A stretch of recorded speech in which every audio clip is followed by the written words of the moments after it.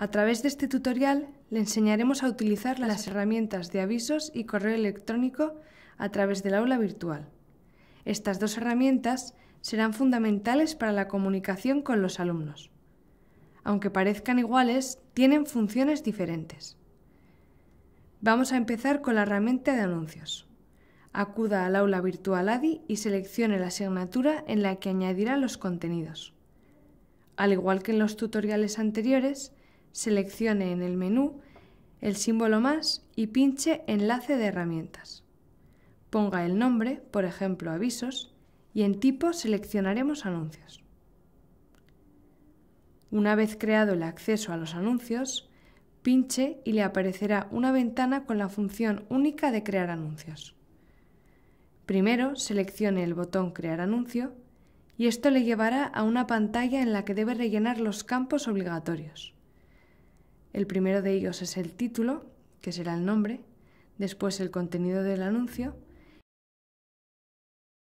y si lo desea puede seleccionar el campo de que a los usuarios de la asignatura se les notifique el anuncio a través del correo electrónico. Una vez finalizados los pasos, pinche en Enviar. Verá que el aviso que ha mandado queda guardado en la carpeta de anuncios. De esta manera, los alumnos pueden consultarlos a través de su aula virtual y si ha seleccionado que se llegue al correo electrónico, también se les notificará a través de esa vía.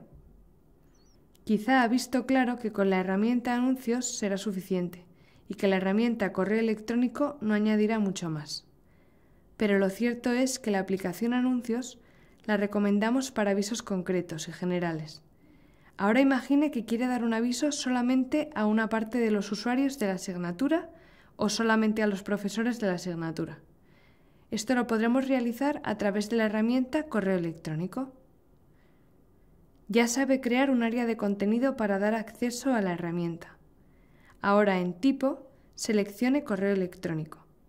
Al abrir la herramienta, puede observar las posibilidades que nos da de mandar avisos a través del correo electrónico a todos los usuarios o solamente a una parte de ellos.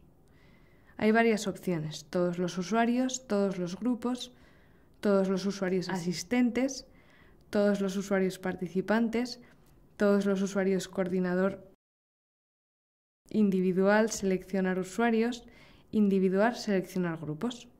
Por ejemplo, si quiere dar un aviso a un grupo de 10 que tiene en su clase, porque van retrasados, deberá pinchar en individual seleccionar grupos.